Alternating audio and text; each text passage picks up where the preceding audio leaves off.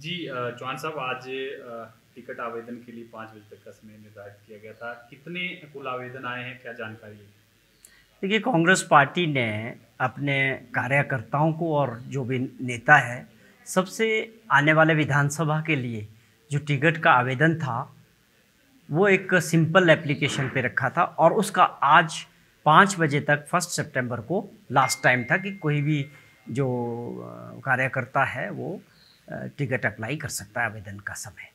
तो अभी पाँच बजे तक जब अभी ये क्लोज़ किया है हमने तो तकरीबन 1350 के करीब जो टोटल नंबर्स जो आवेदन आए हैं, वो 1350 के करीब हैं। और जिसमें आप देखें कि हम, हमने ऑनलाइन भी ये सुविधा दी थी और ऑफलाइन भी थी। ऑनलाइन जो है छः लोगों ने जो है आवेदन किया है। कांग्रेस पार्टी के टिकट के लिए और 670 जो लोगों ने ऑफलाइन ये अप्लाई किया है। तो टोटल नंबर जो बना है, आप ये समझें कि 68 एट कॉन्स्टेंसीज हैं, उसमें जो है 1350 के करीब लोगों ने कांग्रेस के टिकट के लिए आवेदन किया है। काफ़ी उत्साह देखा जा रहा है क्योंकि लगभग अगर मोटे तौर पर देखा जाए तो एक सीट से बीस दावेदार निकल कर आ रहे हैं इस संख्या के अनुसार।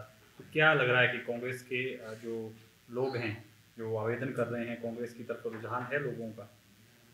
देखिए इससे तो यही ज़ाहिर होता है कि लोग ये समझ रहे हैं और मान रहे हैं कि आने वाले चुनाव में कांग्रेस पार्टी प्रदेश में सत्ता में आने वाली है।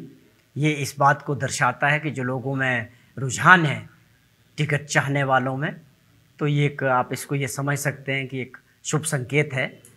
ये मान के लोग चल रहे हैं कि कांग्रेस हिमाचल प्रदेश में सत्ता में वापसी कर रही है। सबसे ज़्यादा